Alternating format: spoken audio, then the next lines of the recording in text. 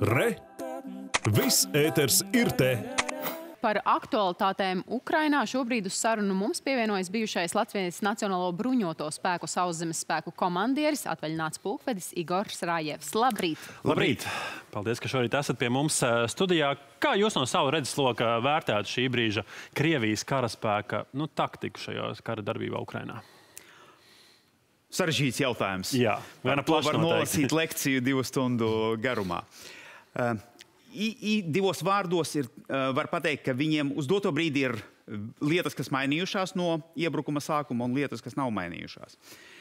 Kas ir mainījies uh, ar papildus spēku ieviešanu Ukrainā, ir mainījies tas, ka tagad viņi izvēlējušies nevis uzbrukumu plašā frontē, kā viņi to darīja sākumā, jo tas sākotnējais uzbrukums vairāk bija domāts uz to cerēts, ka Ukrainas armija sabruks, un viņiem izdosies panākt to nu, vēlamo efektu ļoti īsā laikā.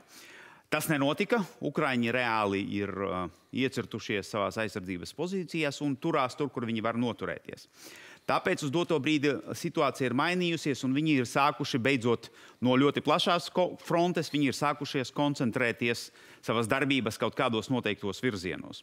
Un tad um, īsos vārdos tos virzienus var pateikt um, divus viņi viens, viņi mēģina atgriezt, atgriezt nost to Ukraiņu armijas grupējumu, kas atrodas pie Luhanskas un Daņetskas, un paņemt viņu uh, aplenkumā ar mērķi pēc tam iznīcināt.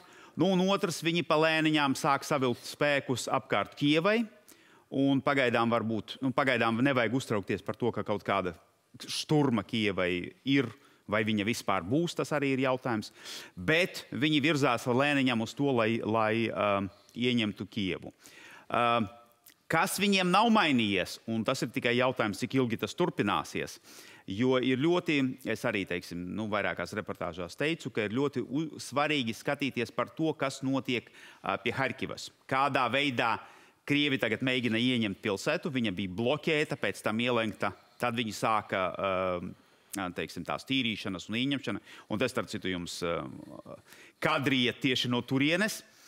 Un tā izskatās, ka pagaidām tas, ko viņi dara, viņi mēģina iet iekšā ar spēcnāza un viegliem kainieku vienībām, bez sma li liela smago ieroču atbalsta un bez smago ieroču um, palīdzības. Uh, un tas iekļaujās viņu teiksim, tā, informatīvā narratīvā, kas viņiem bija no pašas uh, operācijas sākuma, ka viņi tēmē uz, uh, tikai uz militāriem mērķiem, viņi grib izvairīties no cilvēku, civiliedzīvotāju upuriem un tā tālāk. Bet, kā mēs redzam, nu, tas uzbrukums tomēr ir būtiski lēnāks par to tempu, kādu Krievi bija paredzējuši. Un pēc manām domām tas ir tikai jautājuma, laika jautājums, kad viņi uh, no šādas, teiksim, um, specvienību taktikas pāries pie uh, artilērijas un smagu raķešu sistēmu izmantošanas. -hmm. Kopumā, kā jūs teiktu, tie šī brīža pavērsieni iezīmē, cik ilgs varētu būt kopumā ši, šis karš? Uz doto brīdi ir ļoti grūti. Viņš būs īss. Kā, kā lielā militārā operācija, plaša mēroga, viņš nebūs īpaši ilgs um, nedēļa, divas. Jo ir jāsaprot, ka ja Ukrāņu resursi ir uh, ļoti mazi un, un, un, un, un viņiem ir grūti cīnīties ar pārspēku, ir jāsaprot, ka arī Krievu resursi nav bezgalīgi. Tā ir skaitā um, viņu um, smagais bruņojums, um, raķetes, jā, tas ir. Beidzot, ir saskaitījuši, cik daudz to kalibru un izskanderu ir izšauts. Un, um, tas cipars bija um, pāris simtos.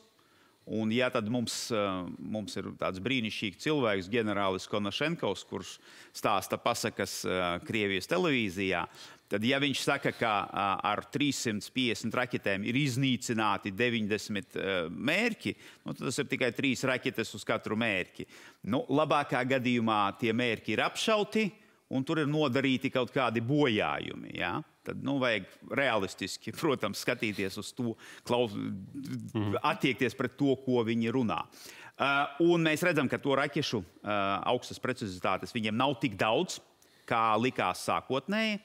Tas nozīmē, atkal, ka viņi tad ķersies nu, pie uh, veciem, labiem, pārbaudītiem artilērijas un uh, rekšu sistēmu izmantošanas. Cik realistisks ir Krievijas prezidenta vakar minētais, Vladimira Putina minētais, uh, īpašā gatavība kodolspēkos? Diemžēl man jāsaka, ka tas ir ļoti realistisks, jo um, es te biju salicis tādu ļoti interesantu um, pārskatu par to, kā Putins darbojās un ko viņš, um, ko viņš dara un kāpēc viņš tās lietas dara. Un man ir jāsacina to, ka sākot ar viņa uzrunu 99. gadā, kad viņš vēl bija premjerministra kandidāts un uzstājās ar runu viņu dumā, viss velk pie tā, ka viņš ir um, absolūti, um, pirmkārt, viņam ir skaidrs plāns, nevis skaidrs plāns, skaidrs redzējums, ko viņš grib sasniegt. Uh, un uh, viņš dažādiem veidiem mēģina virzīties um, pie tā mērķa. Un draudi ar kodolieroču izmantošanu, tas ir viens no tiem elementiem, kā um, teiksim, tā, militāri vājākā puse. Šī gadījumā es runāju attiecības starp Krieviju un Rietumiem. Militāri vājākā puse var mēģināt uh, parādīt sevi kā līdzvērtīgu, un tad pieprasīt sev līdzvērtīgās um, puses um, visus iegūmus un panākumus. Jā. Kā jūs teiktu, kas varētu būt nu, tie lūzuma punkti, kuri salauž to esošo gaitu? Jo, kā jūs teicāt, tas ir tikai laika, laika jautājums, kad ķersies pie smagākas artērijas. Jo skaidrs, ka, ja mēs salīdzinām, cik karavīru ir Ukrainai, cik Krievijai arī to pašu eka, e, ekipējumu, nu, tās ir nesalīdzināmas lietas. Kā jūs teiktu, kas var nospēlēt to izšķiro, nu, kas var būt tas izšķirošais faktors? Cik veiksmīgi tagad turpmāk attīstīsies Krievijas uh, uzbrukums. Jo, ja, ja mēs paskatāmies pirmās dienas, pirmās dienas viņiem nu, gāja samērā labi. Pēc tam tas iebrukums, izņemot dienvidus, principā iebuksēja. Un tagad jautājums ir tāds, vai viņiem izdosies, tas kritiskais jautājums uz doto brīdi, vai viņiem izdosies aplenkt Luhanskas un, un, un uh, Daņetskas grupējumu. Jā, vai Ukraiņiem izdosies, uh, šī gadījumā es pat ieteiktu viņiem nevis noturēt tās pozīcijas tur, bet veidot grupējumu, kas palīdzēs viņiem iziet no aplenkuma, atkāpties atpakaļ, labāk atdot daļu savas teritorijas, bet atkāpties uz tādām pozīcijām, kuras ir reāli aizsargājamas un kur viņi reāli var apturēt pretinieku. Uh, nekā uh, palikt maisā un tad, nu, diemžēl, varonīgi, bet krist kaujā ar krieviem. Mhm. Tāpēc viņiem labāk ir Vis, un, un tad, teiksim, viņi, atnā, ja viņi at, būs spējīgi atvilkties pie uh, Dņepras upes, jo uz doto brīdi gan Zaporožie, gan Dņepra ir tās divas pilsētas, kuras viņi viennozīmīgi notur un Krievi pagaidām pat. Nu, Zaporožiem viņi ir it kā tuvumā, bet otrai pilsētai viņi nav tuvumā. Ja viņi atvelkās, jo Dņepra ir ļoti liela upe, viņu forsēt būs ārkārtīgi grūti.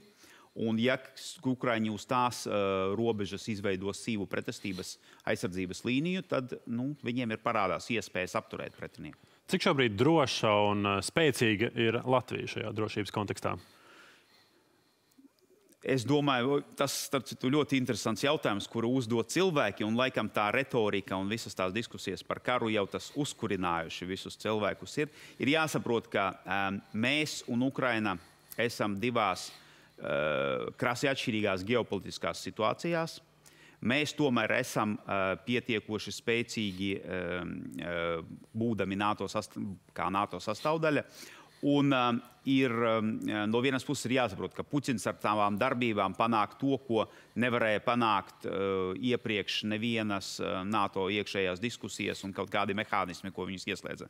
Ja Vācija tagad pasaka viennozīmīgi, ka viņi dabūs 2% par valsts aizsardzības budžetam, ASV es jau esmu dzirdējis par to, ka viņi runā par to, uh, runā par to ka ir ne, iespējams nepieciešams pacelt budžetu līdz pat 7%.